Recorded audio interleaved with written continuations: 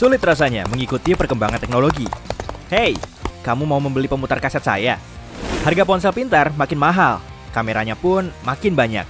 Tapi tentu ada alasan di balik itu. Mari terjun ke dunia teknologi dan menggali hal-hal paling luar biasa. Kita mulai dari poni. Kenapa sebagian besar ponsel pintar berponi? Maksud saya, tampilan dengan lekukan yang agak aneh itu. Alih-alih area hitam penuh di atas, ada sedikit lekukan di layar sebagai ruang untuk kamera depan dan kadang speaker. Pabrikan ingin memperluas layar. Manfaat lekukan ini tidak banyak, tapi produsen percaya akan lebih mudah menjual ponsel dengan layar luas dibanding ponsel dengan layar lebih kecil. Produsen juga terus menambah jumlah kamera ke ponsel untuk meningkatkan kualitas foto. Kamera DSLR punya lensa besar dan bodi yang kukuh. Sedangkan ponsel tidak mampu mengambil foto bagus cuma dengan satu lensa. Kamera Dual Plus berusaha membuat foto terlihat lebih profesional. Kadang untuk melakukannya, kamera bekerja secara terpisah. Foto pertama yang diunggah di internet berasal dari CERN. Itu adalah foto The Horrible CERN Girls, grup komedi yang terdiri dari karyawan dan rekan-rekan ilmuwan di lembaga tersebut. Usia email lebih tua dibandingkan World Wide Web. Email ditemukan pada 1960-an, tapi saat itu pengguna cuma bisa mengirim surat ke pengguna lain yang punya komputer sama. Terkadang, kedua pengguna harus online untuk menerima email. Pada tahun 1971, barulah kita bisa mengirim surat antar host lewat ARPANET, jaringan sambungan paket jangkauan luas pertama. Ratu Inggris mengirim email pertamanya pada 1976. Sekitar 40% lalu lintas internet tidak dilakukan oleh manusia. Biasanya, robot yang mencoba mengambil data. Faktanya, ada forum online yang seluruhnya dijalankan oleh robot. Mereka menggunakan model untuk membuat postingan yang meniru postingan sungguhan. Pengguna yang berkomentar dan berinteraksi dengan postingan tersebut juga robot. Wah, saya jadi merinding. Tiongkok punya jumlah pengguna internet tertinggi, 748 juta. Diikuti oleh India, 455 juta. Jika dijumlahkan, pengguna internet di kedua negara itu lebih banyak dibanding seluruh populasi Eropa dan Amerika Selatan. Nintendo awalnya merupakan perusahaan kartu bermain pada 1889. Sekitar tahun 1960-an, perusahaan tersebut mulai membuat mainan dan hampir satu dekade kemudian membuat video game. Ponsel pintar semakin mahal beberapa tahun terakhir ini. Sehingga, kurang dari 10% orang yang mampu membeli ponsel seharga 15 jutaan rupiah. Harga mahal itu akibat fitur canggih di dalamnya, seperti pengenalan wajah, sejumlah kamera, dan prosesor yang mumpuni.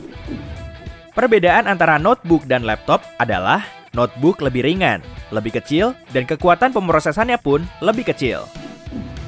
Saat kalkulator digital pertama muncul, konsumen ragu dengan keakuratannya. Satu merek bahkan menempelkan sempoa agar penggunanya bisa mengecek ulang perhitungannya. Daya pemrosesan ponsel pintar saat ini lebih kuat jika dibandingkan komputer yang digunakan untuk mengirimkan astronot Apollo ke bulan. Komputer itu hanya punya memori 2048 kata dan hanya mampu menyimpan data sementara. Rata-rata ponsel pintar punya kapasitas memori sekitar 7 juta kali lipat komputer pemandu tersebut. Hingga 1983, konsumen menyewa ponsel seharga 1,5 dolar sampai 5 dolar setiap bulan. Kemudian, ponsel dijual bebas dengan harga 20 dolar. Itu sekitar 50 dolar atau setara 700 ribu rupiah sekarang. Sebuah penelitian menemukan bahwa 58% pria dan 47% wanita menderita nomophobia, yaitu rasa takut kehilangan ponsel. Kata tersebut merupakan singkatan dari No Mobile Phone Phobia. Banyak orang suka membawa gadget kecil mereka ke toilet. Sampai-sampai ada satu dari lima orang tidak sengaja menjatuhkan ponselnya ke toilet. Tidak disebutkan berapa orang yang bisa menyelamatkan ponselnya. Tapi, ya, Bayangkan saja itu. Ada olahraga melempar ponsel di Finlandia. Sejak tahun 2000, masyarakat berpartisipasi dalam kompetisi melempar ponsel. Penilaiannya berdasarkan jarak atau teknik yang digunakan. Ponsel yang digunakan didonasikan setelahnya. Nama Google sebenarnya adalah kesalahan ejaan. Pendirinya awalnya ingin menamainya Google, yaitu angka 1 yang diikuti oleh 100 nol.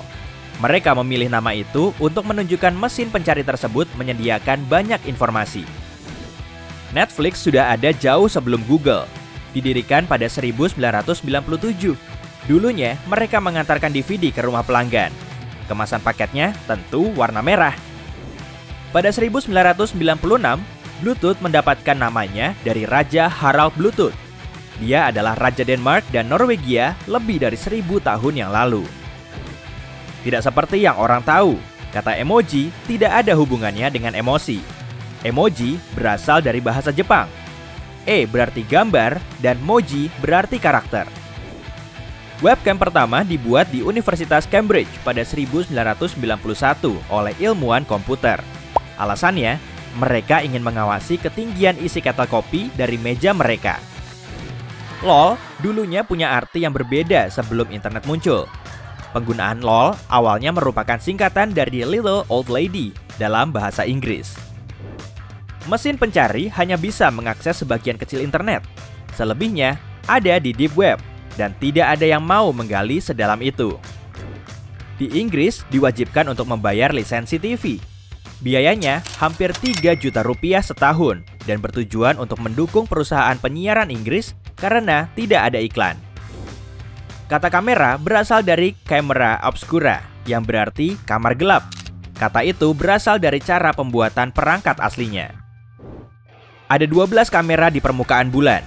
Astronot meninggalkannya agar bisa membawa pulang sampel bebatuan bulan untuk mencegah pesawat kelebihan beban. Mereka hanya membawa pulang filmnya untuk mencetak hasil foto mereka. Satu piksel di perangkat elektronikmu terdiri dari tiga atau empat warna. Warnanya bisa merah, hijau, dan biru, atau sian, magenta, kuning, dan hitam. Tiap piksel merupakan sampel gambar asli. Istilah IP punya dua arti.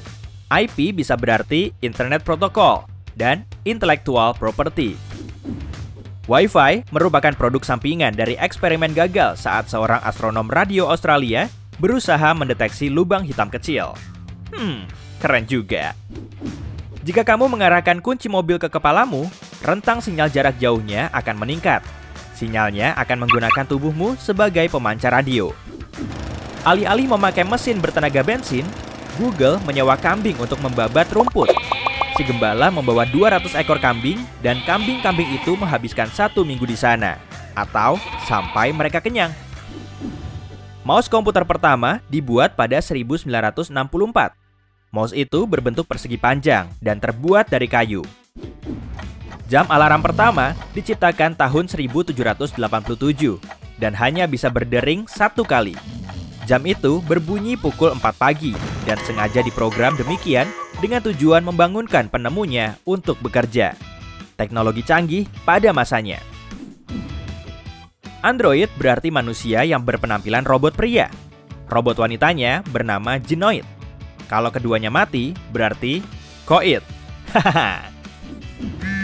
Jika kamu merasa ponselmu bergetar, padahal tidak ada yang menelepon, kamu mungkin mengalami sindrom getaran phantom. Beberapa kata sandi yang umumnya digunakan saat ini adalah QWERTY, password, dan angka satu sebanyak enam kali. Salah satu pendiri Twitter mengatakan media sosial mereka mungkin saja dinamakan Friendstalker. Tapi mereka memutuskan untuk memilih nama yang tidak terlalu aneh. Salah satu pendiri lain mencari kata yang mirip dengan Twitch di kamus. Dan dari sanalah nama Twitter muncul. Typewriter adalah salah satu kata terpanjang yang bisa kamu tulis dalam satu baris keyboard. Coba saja. Ada beragam tata letak keyboard selain keyboard QWERTY. Salah satunya tata letak Dvorak. Susunan keyboard dengan seluruh huruf vokal berada di baris tengah ini dipatenkan pada 1936. Penciptanya mengatakan hal itu meningkatkan kecepatan dan efisiensi pengetikan. Tapi, tata letak ini tidak terlalu terkenal.